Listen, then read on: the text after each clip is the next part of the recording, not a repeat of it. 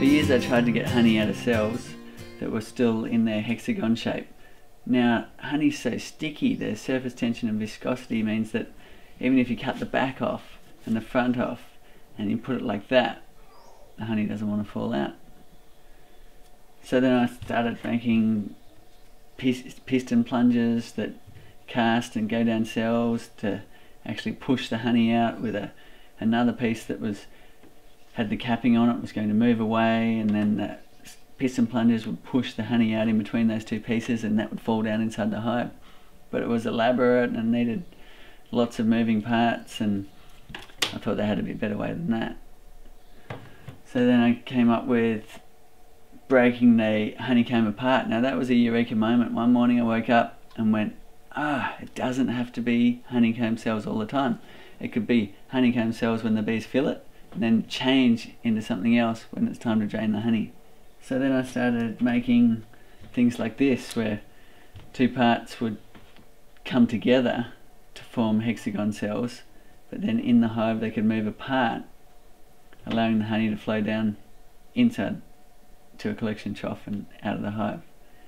So that turned into this prototype here which actually has a diaphragm operating the parts and if I suck on this tube you can actually see them move.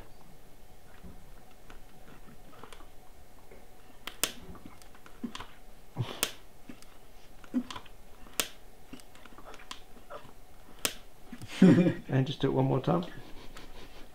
Can you see the, the parts separated? And then formed again for the bees to fill up. So that method actually works, but it's so much more complicated.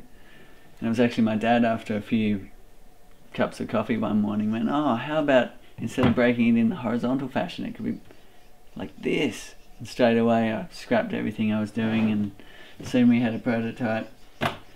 And then we got into 3D printing and here's a, a 3D printed version.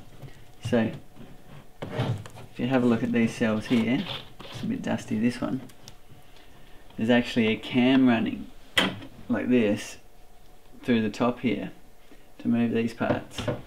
So this was probably the first real significant honey flow out of a hive.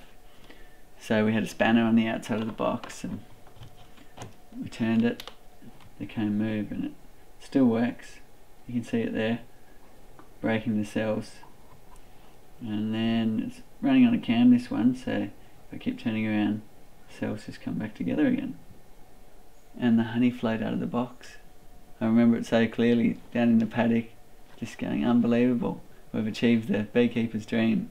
I guess as an inventor, you sit there in your shed for years and years, hoping and dreaming that it's going to be successful, but you don't know. You might just be another paranoid inventor who thinks they've invented something that's going to be amazing in the world when actually nobody wants it. So the mind tends to flip between, oh, it's going to be amazing and maybe it's not. But it's that thinking that it's going to be amazing that keeps you going.